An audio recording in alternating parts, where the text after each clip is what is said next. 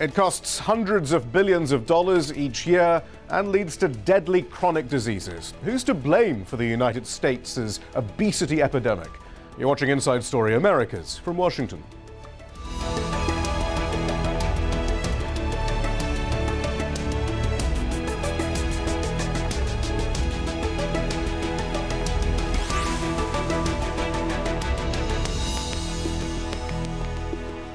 I'm Shihab Rattansi. In the next 18 years, the number of obese people in the US is expected to rise to 42% of the adult population.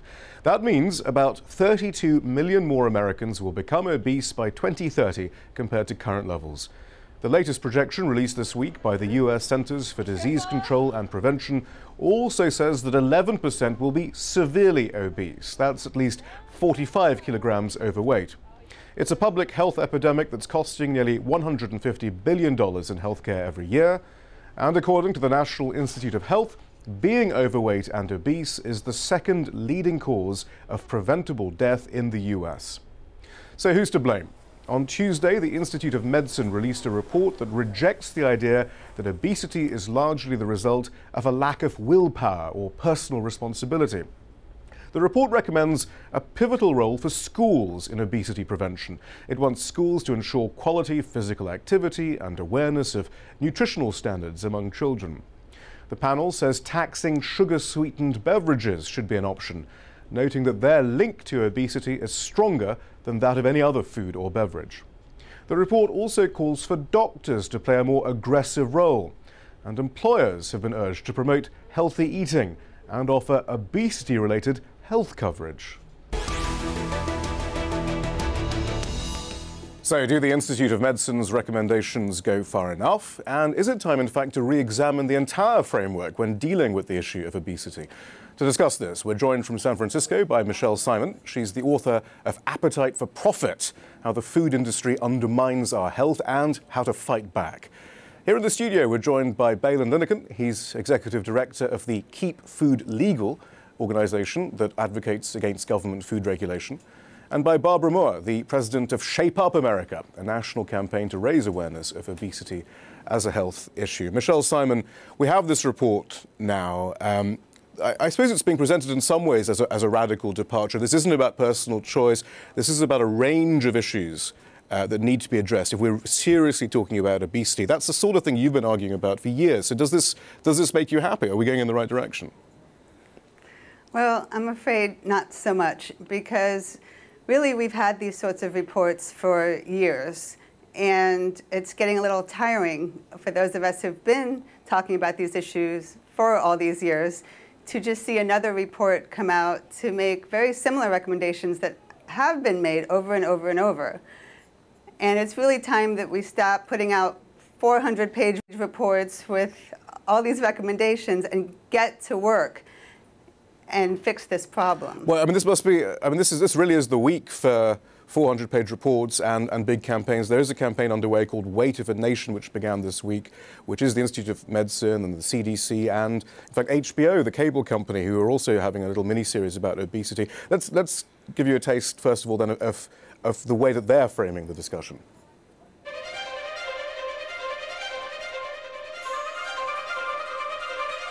I'm five foot ten and 242 pounds. I always say this is the biggest I'm ever going to be, and I said that like 20 pounds ago. A third of Americans are obese, another third is overweight. Obesity is the biggest threat to the health, welfare, and future of this country. I've always been overweight. I've got diabetes, sleep apnea, heart disease. Everything's hurting now. It's a lot easier to lose weight than it is to keep weight off this is probably going to be the first generation of children who are going to have a shorter life expectancy than their parents. 18% of our children right now are obese.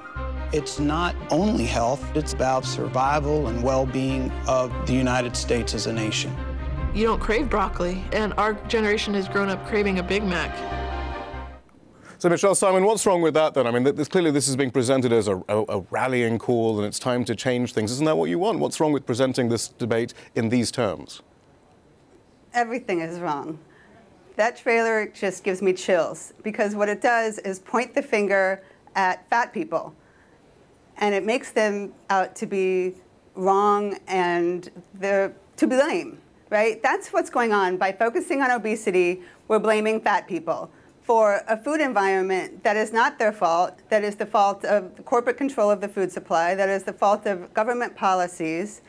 And we really need to stop this blaming and shaming and making fat people out to be the, the victims here when really the problem is society and the corporate control of the food supply and government policy. And that's where I want to have this discussion. Barbara Moore, would you, would you accept that? I mean, even in some ways, Shape Up America, your, your group, there is that implication perhaps that you are talking to those who are overweight, as well as perhaps corporate America and others. I mean, is, is there that, that implicit blame in, in some of the discussion here, which isn't terribly helpful, which perhaps even misses the point entirely?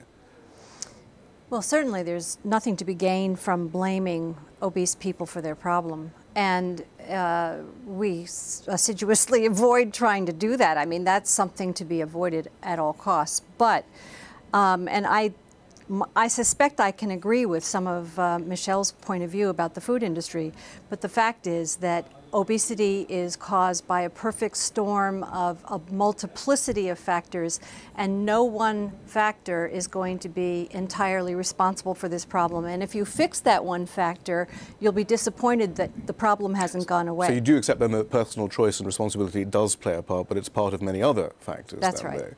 And Michele, what, what, again, what's wrong with that then? That, that, that, there are a multiplicity of factors here, so, and one of them is personal responsibility. Well, I would kind of switch that around to say obesity is just one symptom of this much larger problem around our food system. And if you just focus on obesity, you'll be disappointed that we haven't fixed this larger problem. So by worrying about obesity, we're replacing full calorie Coca Cola with diet soda in schools, which we really have no evidence is any better for kids' health than regular soda. We're not addressing the environmental disaster that is caused by factory farms, the meat supply, et cetera. And you know, I could go on and on and name all the symptoms that have to do with corporations and how they put profits ahead of people, not to mention animals, the environment, et cetera. So to me, focusing on obesity is just way too narrow. Baylen Linnekin, I mean, you want to get uh, all kind of government out of this? You have a sort of libertarian. Perhaps you can explain your view in all this, actually. Um, I mean, I, am not an anarchist, so I don't want government to not uh, exist or not to play a role in food. I think there's a, it has a role, for example, legitimate one in food safety. And I think that, I mean, echoing Michele's point, um, uh, we may disagree about some things, but we do agree that government has certainly played a role in causing the problem of obesity today. We may disagree about exactly what, but for example, subsidies um, are a huge problem. That's that's one example. You know, I was at the um, the, DC premiere of that HBO film uh, a week or two ago, and I don't know if you were too. Um, no. And I was really struck by. Certainly, we all see, I think, the same problem. I mean, we all think that obesity is a is a, a serious problem. I, I, don't think you know we would dispute that. Michele sees it as, I think she just said, uh, part of a larger issue, and you may you may as well. And I mean, I think that. Uh, the way that government has skewed our choices uh, for, say, corn and soy and sugar by subsidizing those things in favor of other things that may be healthier. Um, certainly, those things consume. Yeah, but, that, that shows the power of government. And if we do, if we are facing an emergency, then doesn't that mean that the government still has to have a role in skewering it back, perhaps to a more sensible policy? There? Possibly. Well, this is uh, Mark Bittman uh, has a who's the New York Times uh, food policy writer. Um, has a, an approach where the, you know, the government shouldn't subsidize things he doesn't like. They should subsidize things he likes. And uh, a critic of his uh, referred to this as "let's subsidize things I like" mentality. Um, it's it, government shouldn't play a role in picking winners and losers. It should allow us to eat the foods we want to. And right now, it's it's really just skewing things toward. Right. Well, I feel we jumped ahead a bit. Let's get let's start at the beginning then, as, as to the government framework of all this. Key to this is um, this idea of energy balance as the model through which the government looks at what's healthy, what's not, and how we discuss obesity. That weight is simply about calories in, calories out, calories expended, and calories though that we take in. Now, a lot of research now is questioning some of the assumptions behind that. Um, uh, uh is that is that the useful st- starting point, perhaps, Barbara Moore? The, the, the fact is that energy balance is fundamental to this issue. So yes, calories in and calories out and the balance between the two is going to dictate whether you gain weight, lose weight, or maintain your current weight. However, and, and what people are trying to argue now is that there are differences between carbohydrate calories, fat calories, and protein calories. And I would argue that the evidence that there are um, big differences in the ways in which these calories are metabolized, these diff three different types of calories are metabolized, is so trivially small and so insignificant with regard to this problem that it's not even worth discussing. Michelle Simon, would you agree with that? Well, I, you know, I don't really want to get into a debate about calories in, calories out again. I just Is, not that fundamental to how we understand how this, why this is happening? At least, at least it's one of those factors, and it's, it's, it's one of the starting factors. We'll get on to some of the other factors in a moment, but, but is it as simple as, as, you know, a calorie is a calorie is a calorie? Well, no, because a broccoli calorie is not the same as a cheeseburger calorie. I mean, it's about quality of food as much as it is about quantity. And that's why, you know, this obsession with calories tends to miss the quality issue. And well, perhaps you know, then you can anyway, you can perhaps then link that up then to agricultural subsidies, which have already been mentioned. Then, so how does that quality of calorie link up to an agricultural subsidy that's decided upon here in Washington? Right. Well, Baylen's absolutely right. We have this twisted system of agricultural subsidies that focuses on ma mainly commodities, soy and corn and wheat are, and are the building blocks of our animal product centered diet and uh, processed food diet. So it sounds strange, right? Corn and soy, what could be wrong with that?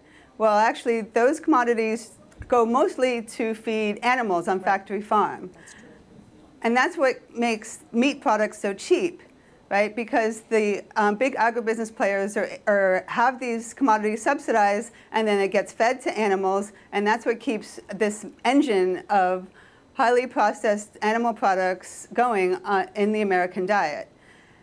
And, and it also keeps the horror of factory farm going. So we are subsidizing America's animal product-centered diet, and that is leading to chronic illness. But then, so then we have to link in the science. This is why there's so many layers to this. So this links into the science, though. For example, high fructose corn syrup, which is as a part of this. Then, I mean, perhaps you can explain it better.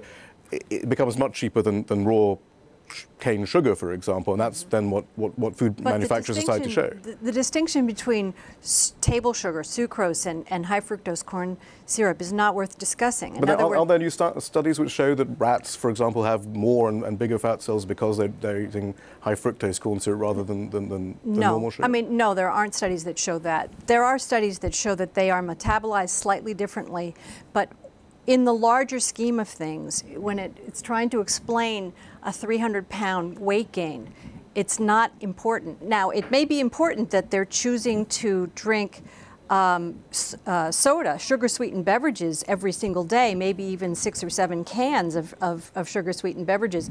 And it's possible that Michele's right, that there's no perception that, that this might be dangerous. And it is true that it can be cheaper to buy soda than it can to buy plain water.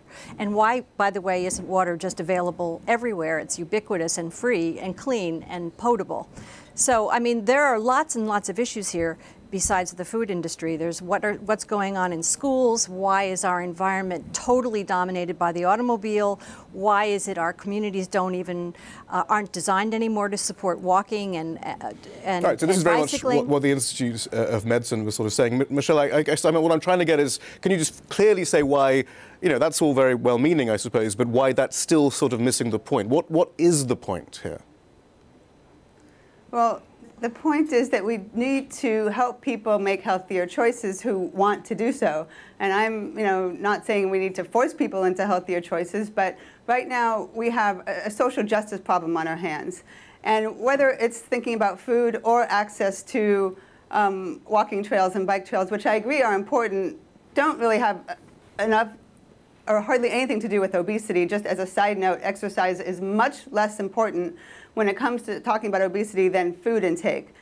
But exercise is extremely important for overall health. And it is true that your health depends on where you live.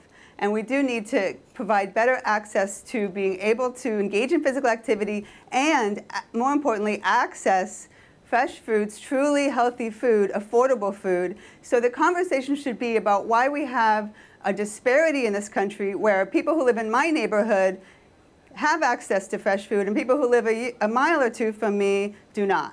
Baylen Linnekin, you reject some of some of these, the premises of this argument. Uh, I mean, this is the food desert argument, I guess. And there's been, I think, two studies within the last, I would say, two weeks and another uh, few months ago that have rejected the idea that urban food deserts uh, play a, a, link that have a link to obesity and play a role in the obesity problem in America.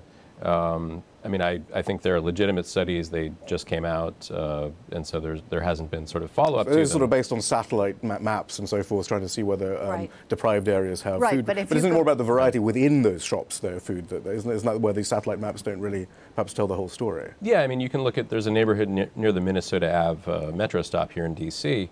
Where that, that's in the middle of a food desert. It's surrounded by food deserts. But if you look in the D.C. government's own website, you can see that they list several groceries around there that have won awards for healthy food choices. So it's, it's sort of paradoxical that that is a food desert.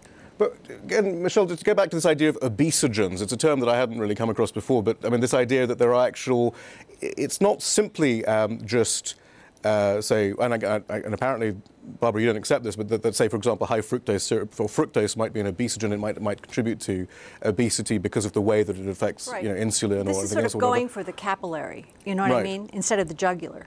In other words, in other words, people are are sort of honing in on these little teeny differences, metabolic differences between this nutrient and that nutrient.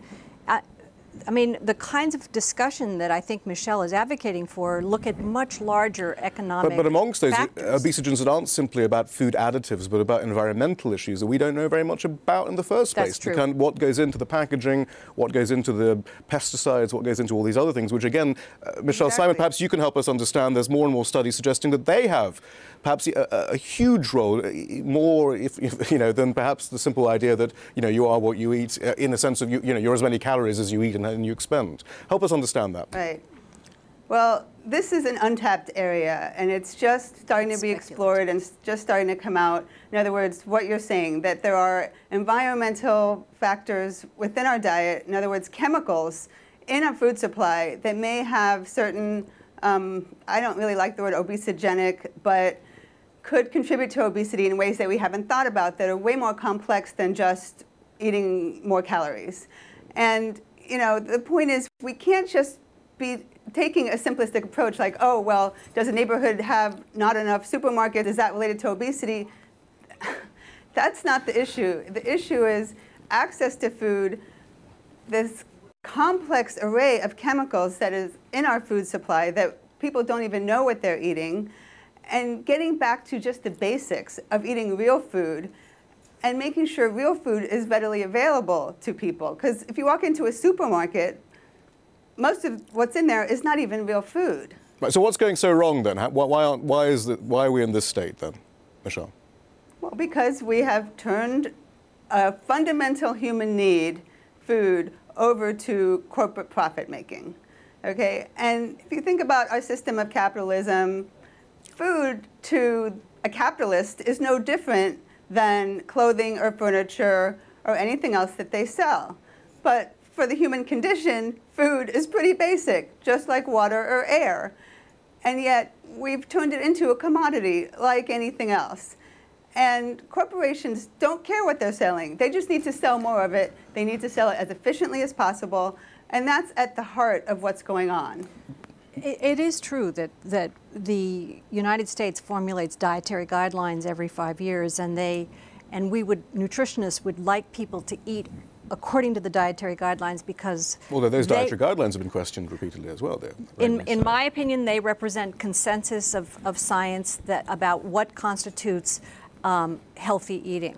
But if all Americans ate according to the dietary guidelines, we wouldn't be able to produce enough fruits and vegetables but isn't there for them to discussion do that. about this? I mean, you, you said that it was speculative to talk about um, Obesogenic. You know, uh, about obesogens and, and, environmental, you know, PCBs being in our food, BPA, the lining of the containers and stuff like that. But isn't that what the food industry is relying upon? That they're able to fund any study that they want, which says one thing. I mean, there's a reluctance perhaps to study some of this stuff even in the, in the first place because they're so powerful. Actually, it might not be a bad idea to look at to, to look at the, the power of the, the food lobbies Uh, Reuters did an amazing um, report on lobbying by the US food industry, specifically actually um, under the Obama administration, and it's really gone into high gear. The food and beverage industry is worth about $1.5 trillion annually, and it spent $175 million on lobbying since Barack Obama took office. In 2009, the industry spent $40 million fighting a congressional proposal to level a penny an ounce tax on sugary drinks, and that measure subsequently died in committee, industry lobbyists defeated similar beverage tax plans in 23 states and five cities. In 2011, Congress attempted the first school menu overhaul in 15 years. Industry groups quickly got involved. They gave nearly a million dollars to fight the changes. And now, although white bread and whole milk are no longer part of school lunches, French fries remain, and tomato sauce, famously on pizza, was counted as, as, As a, a vegetable. vegetable. I mean, so I mean, you seem, I mean, you say that you have confidence in the consensus when it comes down to the sort of regulations that we're getting from No, no, government, no, no. but actually, I said I believe in the consensus science regarding undergirding the dietary guidelines. But I, I think that you raised some important points about the size of the food industry compared to, let's say, the size of the tobacco industry. I mean, the tobacco industry is minuscule compared to the food industry. But they're very similar tactics, though, perhaps, right? And interestingly, they do employ some similar tactics. And, and you're right, they do have, um, they do finance some of the research that gets, gets done. And obviously, so they can always say that there's no necessarily, there's not necessarily proof between marketing sugary drinks to school children and obesity. There's no proof that um, subsidies to agri- farmers lead to people eating more sugar and then becoming obese or eating more high fructose and so forth. I mean, those are the kind of grey areas, Baylor and Lineker, that, that actually the food industry are taking advantage of.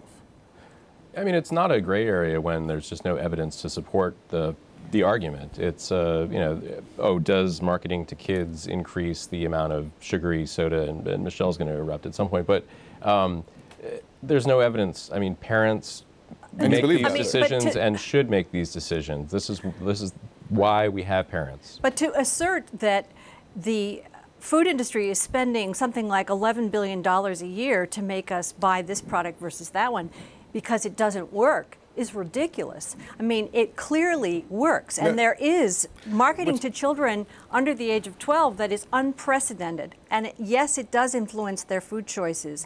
And I would argue it obviously influences their their food intake, not just their choices, but what they're actually I guess, eating. Michele Simon, what one's worried about is more than um, just simply marketing, which clearly does, which- many, certainly anecdotally at the very least, would seem to have some, some linkage. It's actually about uh, when it comes to regulation, this idea that, that self-regulation will be enough, that we don't even need to look at things like so-called obesogens and environmental factors and so forth. I mean, how successful are they being, as far as that's concerned, behind the scenes? And what can be done about that, do you think? Right. Well, I think if we were to start anywhere, we should start with marketing to children. And this, to me, is a no brainer. And we don't need proof that marketing to children works. As obviously, they wouldn't be spending all that money on it if they didn't think it worked. And it's not even about how much you know kids eat and how that relates to obesity. Marketing to children is simply morally wrong for this reason. Children cannot understand what advertising is. They can understand what's called persuasive, persuasive intent, which is the linchpin of advertising, right? Adults at least have some ability, although we're not so good at it either, to deflect advertising messages. Children are by nature vulnerable and open to emotional messages, and that's exactly what the food industry is preying upon. They are taking advantage of children's Bri- vulnerability. Brian Lilligan, So doesn't to that remind me, you of big it's not tobacco when, when they when they would deny well there's any link between you know tobacco and cancer and the more they said it the more people you know legislators would say well we can't we can't we can't legislate about that then I um, mean this idea that marketing doesn't have any effect on children doesn't that seem a bit I wouldn't Well, say that it has no effect, science. but I would say that a kids don't have money. You know, and if they have money, They they have have money. $100 a week on average. Then That's why what not they have. White to kids, black They're- kids, they're- and Hispanic kids have $100 a Which week Which is to great. spend. We live in an affluent society where parents give kids money. That buys you a lot of Big Macs. That's really the parents' decision to give the kids money. I mean, if, if parents are responsible for anything, it's sheltering their kids, it's feeding their kids, it's housing their kids, it's loving their kids, and it's giving advice to their This kids. This is a country that's fairly hostile toward parents. It's fairly hostile towards families. And it, despite the fact that family values are touted all the time, I, I, I find it really quite remarkable that, um, that we have a culture now where um, parents and families are not particularly well supported from a cultural Michele standpoint. Simon, I mean, your, your, your book title talks about how to fight back and so forth. We've only got 10 seconds, but what, what, is the, what is the simple, in a nutshell, answer then to all this, do you think? I would say to get engaged politically, that is the bottom line. That we need to create a political movement in this country, that politicians need to be held accountable, they need to speak for the people, they need to help parents do their jobs, and we need to get political. Michele Simon, thank you very much. Baylen Linnekin, thank you. Thank you. Barbara Moore, thank you too. Thank you. That's all from the team in Washington, D.C. Don't forget to follow us on Twitter and Facebook, where you can find more information about the program. We want to hear from you as well. Tell us what stories you think we should be covering. Send your ideas directly to us at Inside Story at aljazeera.net.